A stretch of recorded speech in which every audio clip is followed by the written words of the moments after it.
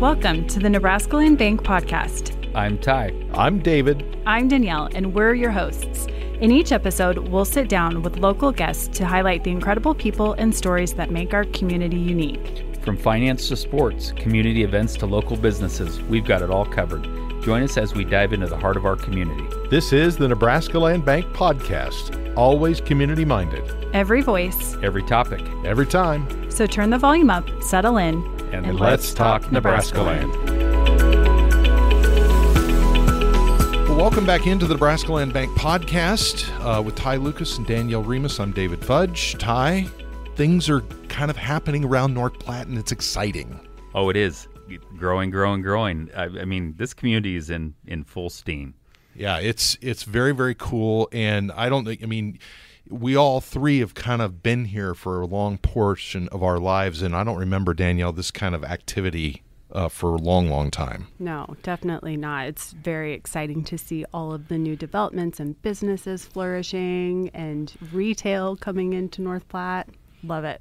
Yeah. I don't feel like I have to travel to shop anymore. North Platte's getting a Chick Fil A. Doesn't that put us on the on a different map? Is that right? Listen, I, I think it actually does. Yeah, That's like an event for my family when we go out of town. Every time we have to go to Chick fil A. Really? I love Chick fil A. Why would you not stop at a Chick fil A? I mean, you- wh- I almost feel like uh, you could. I'm like- not a fast food guy. Well, Okay, I'm but- not either, but I mean, it's it's it still tastes good. The I waffle know, I- fries I and the lemonade company, are though. unmatched. yeah, it's a very cool company. So, speaking of cool companies, you've you've got somebody who you know a little bit uh, uh, in studio today, and I'm so I'm going to let you do the introduction here. Oh, that's perfect. Well, with us today, we've got Stuart Johnson from Sampson Construction. And I'm really excited to have Stuart here today. He's got uh, roots out in our part of the state. Of course, Sampson's uh, headquartered in Lincoln, Nebraska. And we're, we're seeing a lot of their trucks and vehicles and equipment in town. And so I'm really anxious to talk to him today about their company history and why, why he's spending so much time in North Platte these days. But uh, before we get started, we're going to have a little fun first, Danielle. Yeah, I've got a great icebreaker question today, so we'll go around the room to answer it. And today's question is if you could witness any iconic building being constructed, past or present, which would it be? Let's start with you, Ty. You know, I'm going the Golden Gate Bridge. Oh, that's cool. Well, here's well, now, what's- wait a here's- minute, is that a building? Well, it's iconic. it got built. yeah, did get built. Yeah, all right, all right, Okay, all right. here's my thinking. I mean, I think that's 1930s New Deal type of stuff, Mm-hmm. which is interesting to me. Bridge construction has got to be a complete mess. I don't Oh, even know how you. I don't know how you build this bridge that they just built in Sutherland. Yeah. I mean, how do you build a bridge? N- nine and a half months ahead of schedule, by the way. Yeah, h- home which run. is which is by the way, kudos to those folks for getting that done in that time. yeah, I'm mind boggled by by bridges and bridge construction, and so I guess that's my pick. So why don't we go to um, let's go to Stuart next. So I'm gonna say the the Cathedral Notre Dame in Paris. Um, Oh, my. Visited that here a couple years ago, and it's impressive to to see what they did hundreds and thousands of years ago in Paris and throughout the the city there. So that's gonna be my vote. Love Now, it. would that have like Michelangelo type art in it? Would that be? I'm trying to get my vision on it. It does in in the ceilings have murals and things that you can't hardly fathom how they got up there and did that Wow. type of work. You know, in a building of that magnitude, and the size of it when you get inside, and the woodwork and the marbling is just it's all impressive. Mm-hmm. I'm kind of with Stuart.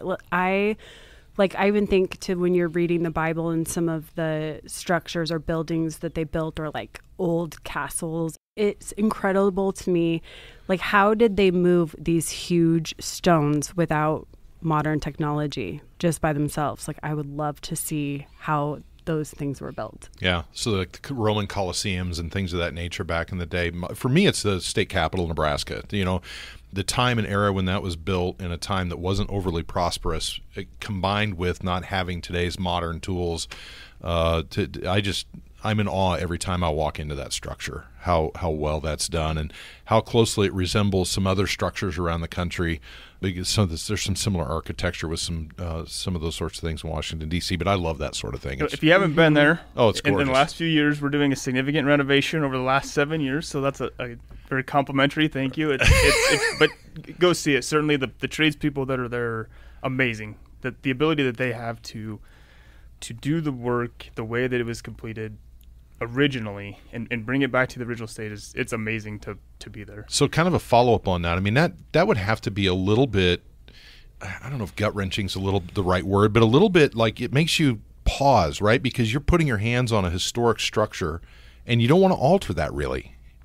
Absolutely, I think, um, and I haven't been as involved in that project as, as I have in some others, but I do know that in the early stages of that, we did have concerns with where are we going to match windows that help provide better efficiency and, and maintain the same look of the building. And the mechanical system was so dated. How do we maintain occupancy within that building? And, and obviously, there's hundreds of employees there that some of you may be familiar with if you've had construction, got shuffled and reshuffled. Mm-hmm. And but to me, the the impressive part is that those tradespeople are willing are able to go in there and make that building look like it looked originally today. And and those things are hard to find in any any trade that we do, and, and especially the plastering and the woodwork and, and the stonework is it's just amazing what they've done there the last few years. So you would have the ability to get Senator Jacobson's office in like the worst HVAC, farthest from the bathroom, high traffic area, or in like an ideal area. Is that I, right? I think he's mentioned that in uh, some previous conversations that we've had. Okay. Um, so yeah, I excuse myself from that conversation Yeah. Yeah, quickly. Yeah, you you would have. Uh, I, I would not feel comfortable asking that question, so I'm glad you did. Yeah. Uh, I'm new enough around here. I don't know want to tread down that path. Just Oh, you you can tread. Yeah. And we can arrange things. Let's chat after. yeah, yeah. Let's. Uh, I, I like that idea. Okay. Well, can you tell us a little bit about the origins of Sampson Construction and kind of its journey to becoming a key player in Nebraska's construction industry? Certainly. Um, we just celebrated our 70th year in business uh, last year, so that's a, an impressive feat. We started in 1952 in Lincoln in the garage of Morris and Evelyn Sampson. So, very humble beginnings, um, building cool. custom homes, and and that's where it started. We grew very quickly in Lincoln. Um, and Rod, Sam, and John then kind of took the reins um, really up until the last 10 or 15 years. John was very active, uh, you know, in the North Platte market. I know he's been out here some. Uh, even more recently, we're working through some development things. And, and most recently, uh, Corey Sampson Vocoon, John's daughter, and, and her husband Dan have taken taken over and, and lead us today in, in the direction that we're headed, which is throughout Nebraska, into Colorado and Wyoming, and really nationwide. We have a presence throughout the country, uh, selectively with, with some owners that maybe we'll talk about later. But really, our primary focus today, and, and it always has been, is is healthcare, education, a lot of public, you know, municipal type work. At least in rural Nebraska, you get to Lincoln and Omaha, we have a fair amount of opportunity to to work on office and retail and these mixed use facilities are becoming very popular. And so that is a bigger portion of our work you know in the eastern half of the state. If I was over in your office and I was looking at your picture portfolio of some of the most infamous or well-known projects or complicated projects, what would a few of those be? so I, on a national level we, we talked about that just briefly. We, we do a lot of work for Scheels sports. So if you've been to lincoln omaha johnstown um, some, some really impressive stores and they continue to expand you know throughout the country and, and they're a unique owner we have the opportunity to go with them to their new markets that they feel are going to be good for them and, and those that relationship has been great for us the other kind of national work that we do consistently is for the Dormie Network, who's recently um, we just turned over a portion of the work here just outside of Maxwell at the GrayBull course. That's their newest um, and only ground up course. So unique opportunity for, for the golfers out there to have a, a renowned course right here in, in the backyard. As far as within the state of Nebraska, you mentioned the Capitol is, is one on the top of my list. It's it's just an impressive building, and the work that they're doing currently and, and will continue to work is is just amazing. We're in football season, so it can't go without. We've we've done three different renditions to the Memorial Stadium, being West Stadium, then North, which was my first project at Sampson. So Wow. little history there. But then East Stadium um, was another project that I worked on there, and those are anybody that's been to Memorial Stadium. It's it's an impressive building. Yeah. Um, So that Nace North Stadium project would that be where the cap, like the suites, were added to the North Stadium, and, and that whole area was redone on the North Stadium? yep, yep, Yeah. correct. Wow. Same thing on the East Stadium then as well. It was, yep, kind of reworking those lower portions of the bowl and then and reconfiguring and adding on up above. So impressive, you know, structurally and, and the, the engineering and architecture that went into that to get that to work is is even more impressive than the ability to actually build it. Really, in my opinion. So. Hmm. How many people does Sampson employ? So currently we range between kind of 340, 350 employees, and, and that is spread out between our headquarters are in Lincoln. We have an office in Papillion, Kearney, and then Johnstown, Colorado, and most recently Casper, Wyoming. So we've had a presence in on the Front Range for quite a few years. A little different market out there, but it's been it, we kind of transition here at Kearney. Um, we share a lot of resources and employees with those folks.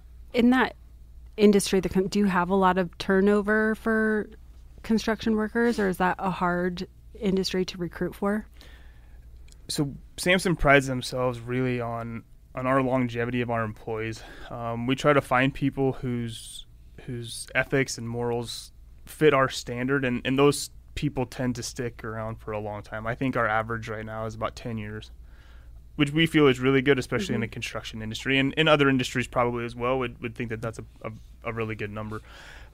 As far as recruitment and retainment, uh, I think we're in the same boat as a lot of other industries right now. It's it's really hard to find quality employees that are educated and, and hardworking and ready to go to work. You know, you said something. You, you said a word earlier when you were talking about some of the clients you've worked with uh, repeatedly that that we talk a lot about here, and it's relationship.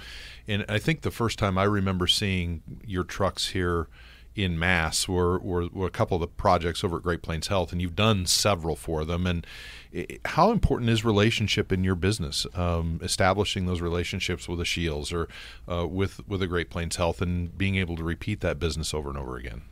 It's a majority of our business. Uh, eighty uh, percent of our our projects are with repeat clients, so that's a number that we work really hard to maintain. Mm-hmm. Um, Great Plains Hospital has, has been great. My first project there was the patient tower. Mm-hmm. Um, I think we'd done a few projects prior to that, but smaller. Obviously, it's compare anything in North Platte outside of a few buildings that that was a, a fairly significant investment for them. Since then, we've completed numerous projects. I, I don't want to say that we haven't left, but it's been for a short stints of time that we haven't been there actively renovating or building, you know, something new you know, most recently, I guess since I've been some back in 2018, we the first project we finished was the uh, emergency department. They're on the mm-hmm. west side, kind of a new entrance. From there, we've we've performed uh, most recently a, a, lab renovation there on first floor. Not a lot of people could see what's going on, but the fence was there and construction's ongoing. Obviously, the the Oak Street Medical Clinic is an impressive, you know, building that was completed last year and is is being occupied and and currently here right across the street, uh, I'm sure you guys get to, to witness on a daily. You can have a good view of, of the new rehab that's getting um, added onto and then renovated, uh, kind of in a phase two portion once we get the addition uh, completed. But that relationship really has been with the administration and with the board has been great. They have a high level of, of trust and confidence in us to continually provide, you know, top quality craftsmanship and, and work while we still allow them to function as a healthcare facility and provide top-notch care to those patients who are there to see them. So it's a unique relationship. They have a lot, a lot of trust in us to, to keep them operational, and, and it takes that relationship to be successful. It's certainly unique uh, within our industry. The relationship that we have with them is is is certainly one of the best, and, and, and probably a measure of quality that we look to have other projects get to. Yeah, cool. Well, we also have another little project coming down the pipe in North Platte. if you wouldn't mind to talk about that one for a little bit, I'm particularly excited about this one.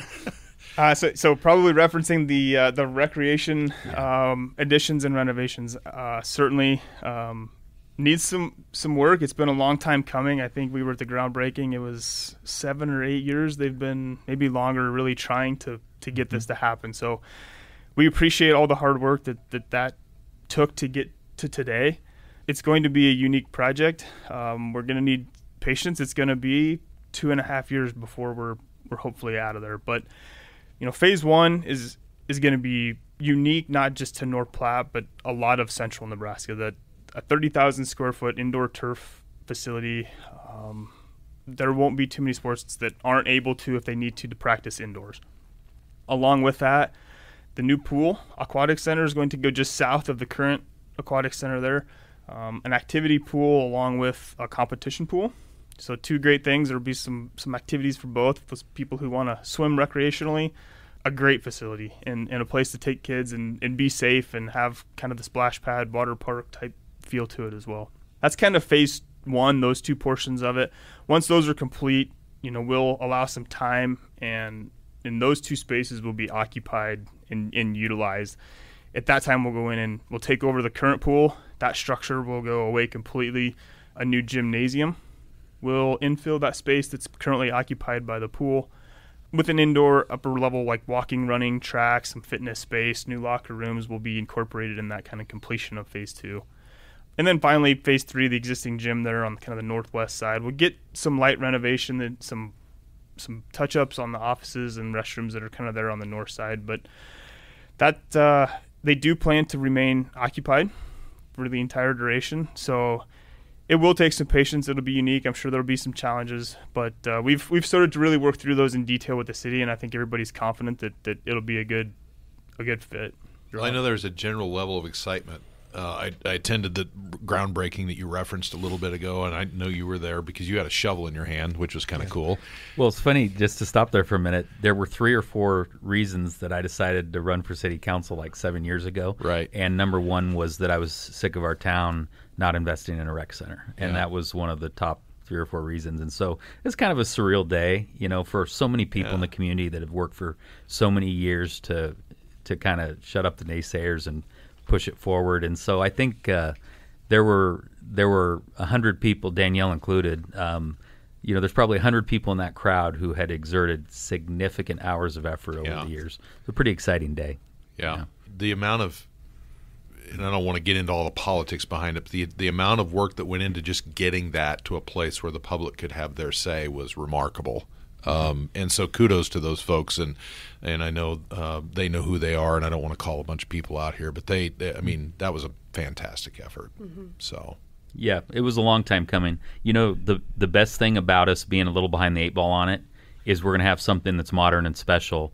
And you know, sometimes sometimes things work out for a reason. And again, I would have liked to have seen this moving forward 10 years ago. But what we're going to have with modern technology, design, construction techniques is going to be going to be really special when it's all said and done. Yeah, I think you're right. Now, I did kind of jump over Stuart's background individually when we were doing introduction, so I want to swing back to that if that's okay. Yeah, that so Stuart's got some roots in our area, and so you need to tell us a little bit about you, your role at Sampson, your history to our area, that type of thing. Absolutely. So uh, originally, kind of from the Kearney area, graduated Kearney Catholic. Um, old rivalry there, but but uh, we'll leave it there. Um, my wife and I, um, when she graduated, we, we spent a few years in Alaska, and actually thought we'd never leave um, until we both had the opportunity to come back to Kearney, and and we couldn't pass up that opportunity. So, in doing that, I was I was brought on as vice president uh, of our Western Nebraska operations or Central Western Nebraska operations, and and have family. Uh, we do ranch here just south of Brady, so have ties back to the community through that, and, and I think that is a unique. There's personally, I, I have things here that that I want to make happen. I want to see through that that happen within the community of North Platte, you know, because of that, and and so that's maybe unique that I, I don't want to to take away from the work that we do in other communities, but certainly North Platte is a special place for me because of that. Mm-hmm. Um, so it's, it's, it's been great. We've we've had exceptional growth um, in the last five years since we've been back. Much of that in part to to the community of North Platte, and it's been consistent. I think you know going back a few years, North Platte's always been a really good place for us. I think it started before the school, but the new high school was about a decade before um, the new patient tower, right? And so that that school, the investment that the community made in building that school, I think, kind of set the stage for all these other projects. And so you look a decade down the road, and we put an investment into a healthcare facility that's that reaches far beyond Lincoln County, and and I know there's folks from hundreds of miles that come here to get you know really high quality care. And now here we are a decade later in, in the city in the community a lot of private industries and businesses are making investments into their businesses in north platte. So i think all of those things combine are really what it's going to take to recruit young people to come back to these communities. And whether that be kearney or north platte or, or mccook i think we all have the same struggles and it's recruiting young people to come back and unique to north platte i think they have those things like a rec center where you can take young kids and and and get some fitness in at the same time. Without those facilities, it's it's going to be really hard. Um, I was just in the school last week, and, and it still looks great. Yeah. Looks Um, brand new. Yeah. yeah. I I think you know with the increased industry and, and business and all the things going on, I, I suspect there's probably going to be some some new kids and some growth there on the school, and so I think we're going to see some of these things have an impact over the next five ten years. That it's it's really going to continue to grow in North Platte, and we want to continue to make that investment um, in the community. Are there some other things coming down the pipe here that uh, you're at a point that you can discuss? Other projects that you guys may be involved in? Uh, yeah, another great project that'll be, I think the groundbreaking set here for early October is, is out at the airport. It's going to be a unique building for the community of North Platte and, and really for any of the regional airports that any of us might have visited. I think a, a new passenger terminal, unique construction types. It's mass timber, which is probably the first of its kind in North Platte that I'm aware of. I don't know that there's any others. So what that is is it's structural members that are comprised of multi layers of wood, two by fours, two by sixes, all kind of laminated together to make a larger structural member. The roof structure will be made entirely of wood. They call it cross laminated construction, so it's like five layers of two by four material kind of stacked perpendicular to each other. And, and those panels then rest on the larger wood beams. So it'll be really unique. The inside will be all exposed wood. About 50% of the exterior is glass. So a little bit different than the current passenger terminal. Um, I know everybody likes the baggage slide, I think is what I'm going to call it currently, but uh, there actually will be a, a new baggage carousel to hopefully uh, expedite the uh, the pack pickup when you have a new arrival here. So it, it's going to be exciting. Great views of, of the runway and planes coming in and going, and so it'll be it's going to be really unique. It's going to be great. Is that a remodel of the existing facility or is that a new building? So we're going to leave the current building operational. It's a trend here. Everybody likes to keep things going. Um, but it'll actually be between the passenger terminal and kind of the private terminal there. So that space that's in between them currently will be occupied with the new terminal, some new parking lot uh, to the north. So they will remain operational. I don't think we'll have any impact on current air service or flights. So That's it. that's got to be a challenge in your world to try and well, you, you referenced healthcare to try and keep because it like what you do in construction is not always clean. Uh, and in a healthcare environment, I'm sure that's challenging. But how how does that kind of when you try and I would imagine it slows it down some when you're trying to keep something operational and moving while trying to layer in new construction over the top of it. It is. It's it's unique. I think we're fortunate to have a team. You know, really, our entire team throughout the company is has we've we've done really well working in occupied campuses, and we understand. We're trying to understand. Each entity is separate, right? A hospital operates differently than a bank, but our goal is when we sit down early with an owner is to understand what your business is, what whatever entity or industry that might be. Hospitals are unique, right? We're providing a clean, sterile environment, healthcare. The work that we're doing is the complete opposite, right? We're establishing dust and making debris and and so what we like to do is is we sit down very early and we establish a plan with the engineers and the architects and say, hey, look, we're going to bring an entire mechanical system offline. How do we do that in a space that needs X amount of airflow? Right. We just we just completed the lab. That was one of those that that took months and months of preparation for us to leave them occupied in certain spaces down there on the first floor and, and at the same time construct what we needed to do. Um, I think that project took 18 phases. Some of them were about 10 by 10, but we would go in, you know, overnight or weekend and do what we needed to get the work done above the ceiling, get everything patched back so that Monday when patients were back, it looked like they were back in business. That's really Um, remarkable. It's extraordinary. You know, on the on the airport project, I got to do a little quick shout out to um, Justin Gosnell at the airport, Sam prior to him, and the airport authority. You know, our airport authority here is separated from our city and county. It's a different group of elected officials, and our community's always believed in that. So we had a group of people that focused on the airport.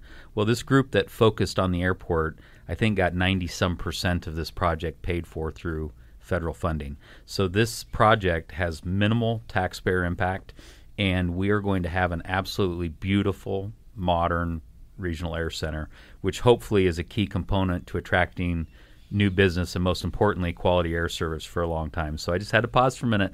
Little shout out to the Airport Authority Group because you want to talk about hitting a home run. Um, to have all that federal money come into our community is just unbelievable. Yeah, thanks for addressing that, Ty, because it did cross my mind. I was curious what the impact of that facility will have on North Platte, so you answered that. Yeah, the nice thing is, like I said, the taxpayer impact. I don't remember; it's ninety some percent paid, around ninety percent paid through federal funding. Does that sound right, Stuart? I think that's correct. Yeah. Yeah. So they went out and got you know twenty some million dollars in federal grants. I mean, we're talking big money, and so we're going to probably have an oversized terminal for our size of community that's going to have very special architecture decorative features, which is what he was touching on. Which you think about the look of an airport, yeah, I mean, you could just go build a, a concrete block building and have it look real simple like a warehouse or something. But think of the places you go and the way those airports look and what that tells you about that community when you arrive. Mm-hmm. You know, and you, you mentioned oversized, but I wanted to touch on that just briefly because almost without fail,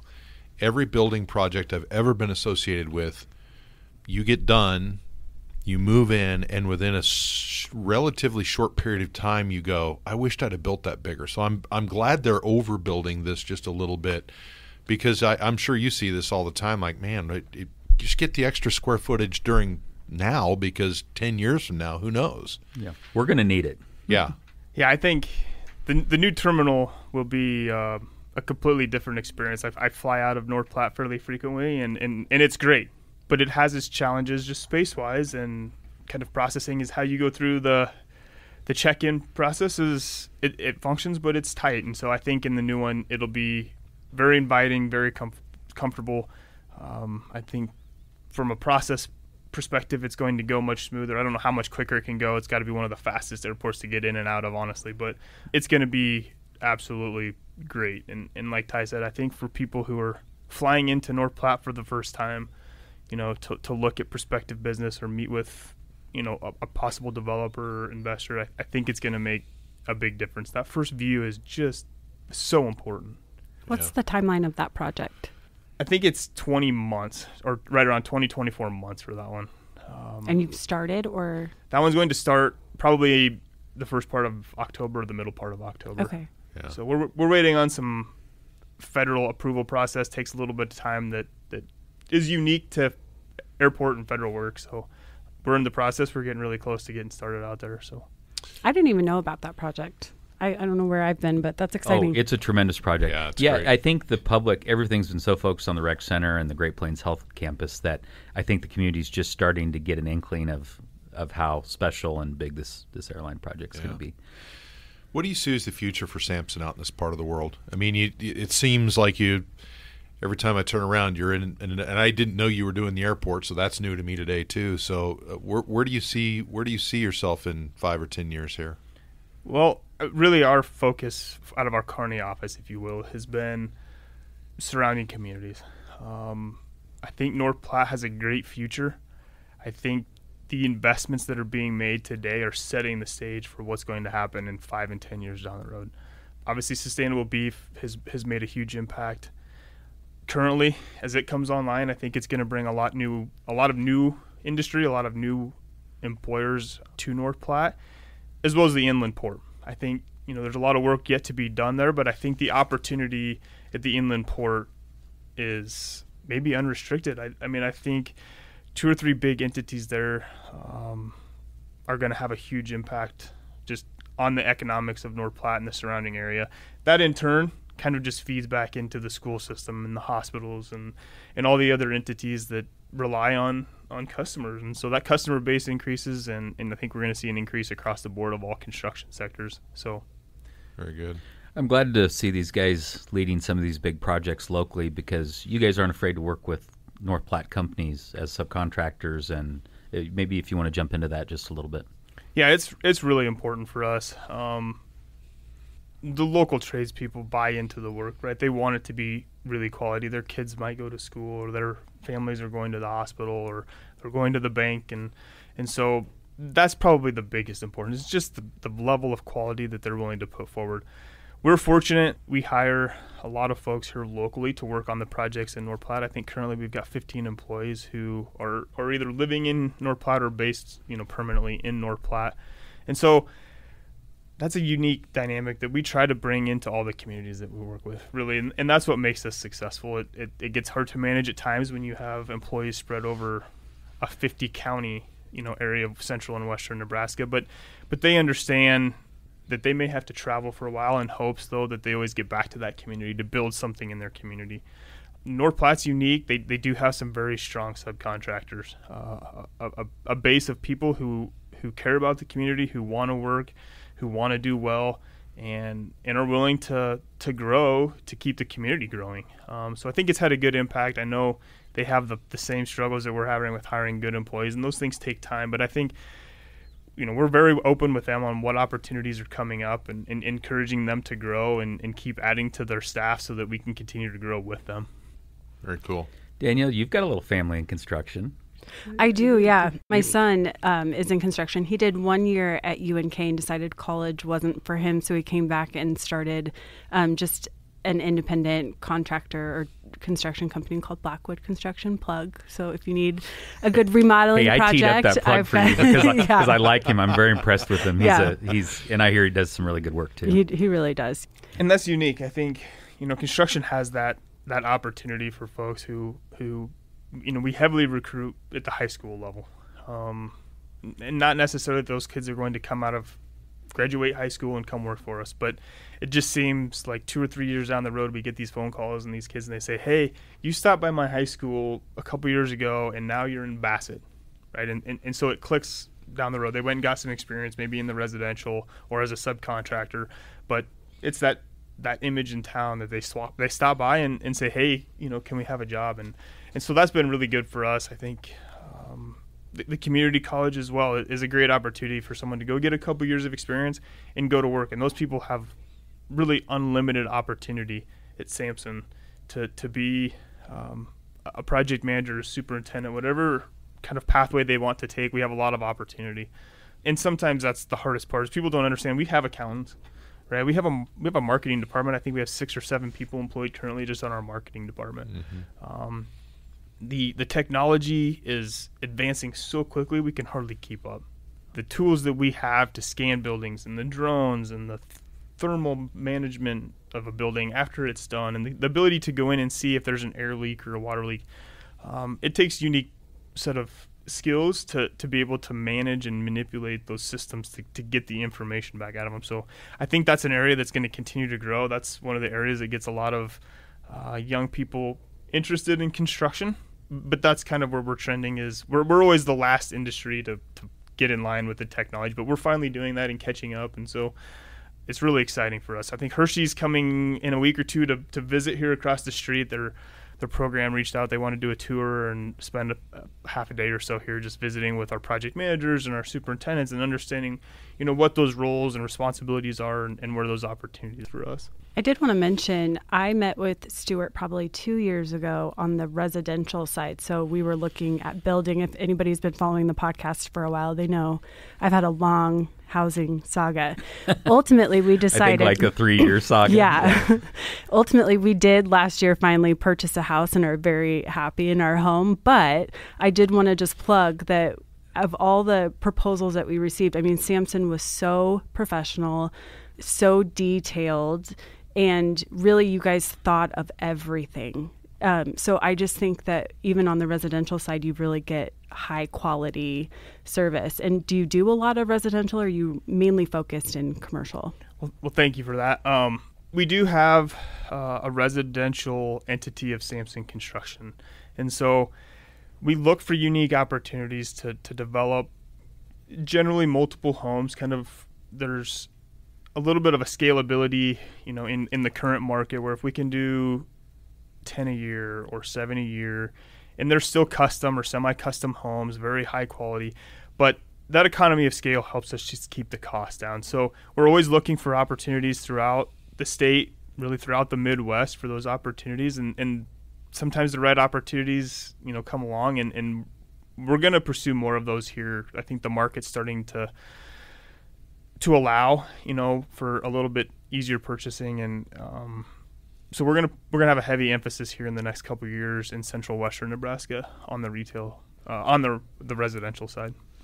Housing's been so difficult from an economic standpoint. You know, it's been interesting because right at the time that North Platte is really needing housing, the national economics, just with costs, interest rates, and all that, have been been so challenging. And so that kind of spins us into talking banking for just a second. Um, Fudge, you want to talk a little bit about construction construction here today? Danielle, do you want to go into our our Yeah. asking for a friend? So the asking for a friend, this is actually a question that I had when uh, Jared and I were looking to build because we just weren't sure how does construction financing work when or how does one secure funding for a project that's still in the blueprint stage and I think that applies for residential or commercial projects.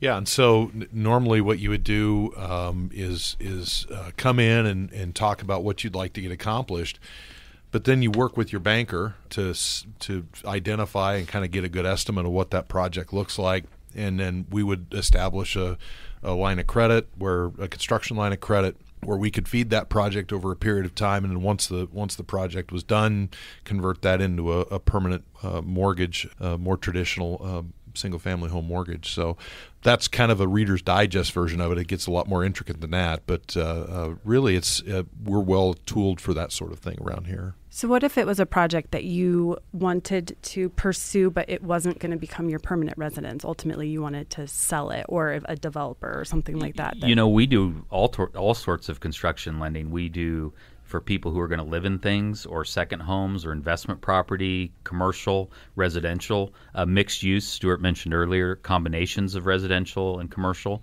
um, whether that be a a shouse or a shop with headquarters or apartments that are sitting over the buckle. I mean, that is there's a lot of trending now towards towards mixed use type uh, type construction. I think one of the things that's mind-boggling to people with construction lending is, well, wait a minute. If I don't have the asset, how do I put up collateral? In other words, okay, I'm bringing in a blueprint. Well, what's your collateral? Well, that's a good question because there's a couple different ways to look at it. First of all, if people have other assets, they can always use those. Like, say, they have their existing house, maybe they use that as the collateral base for lending.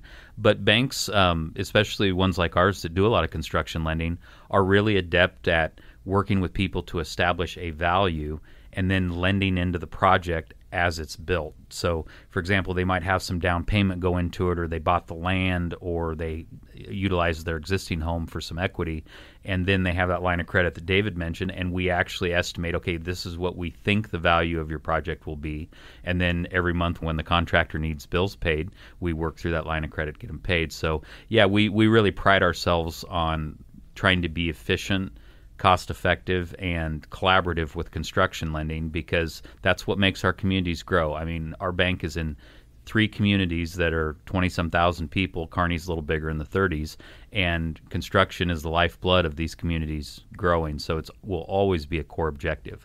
Um, maybe put Stuart on the spot a little bit. If Sampson's working with a customer or a construction, what do you guys like to see in a construction lender? Oh, I think it's it comes down to people that we know and trust, right? And and an entity or a, a banking facility that that understands that construction process very well, and, and the ability to go in and meet with those people, right? We have things that are unforeseen. We have things that differ from what the cash flow maybe said initially, and so if we need to go in and have that conversation with somebody who's understanding of the process and can work through that you know, without a lot of challenge and, and very quickly. That's that's something that's always certainly a benefit when we meet with an owner and, and they let us know who that banking entity is. Some are you find out are are uh, you're more excited to work with than others very quickly. So, um, We're going to try to stay on that list. yeah. it, it is very important, and and I think you know here I predict, and, and I'm not an economist, but I do predict that things are going to continue, at least on the residential side, to to get more affordable you know, post COVID, we've had a lot of cost increases, but those are really starting to level out. I think on the residential side, we've seen a little bit of a pause here lately with the interest rates, but as those start to kind of continue to come back down, hopefully, I think things are starting to fire back up on that residential development side, and I think those opportunities are going to continue to kind of trend that direction here over the next few years. Very good. Stuart, we can't thank you enough for, for coming in today. It's just it's a pleasure. I we we really admire your company. Thank you for having me. Very much appreciate it. We look forward to having you back someday.